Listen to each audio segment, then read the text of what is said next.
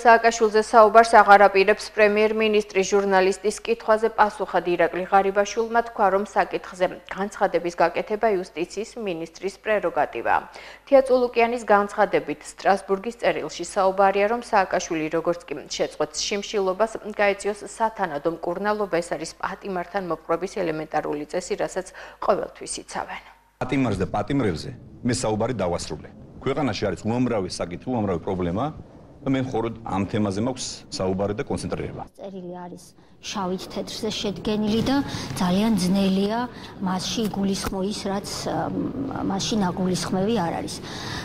ცალსაღათ არის მითითებული, რომ სტრასბურგის სასამართლო მოუწოდებს ბატონ მიხეილ სააკაშვილს შიმშილობის შეწყვეტისაკენ უფრო მეტიც, არამც თუ მოუწოდებს სასამართლოს რეგლამენტის 39 მუხლით ის მას ავალებს, რომ შეწყვიტოს შიმშილობა.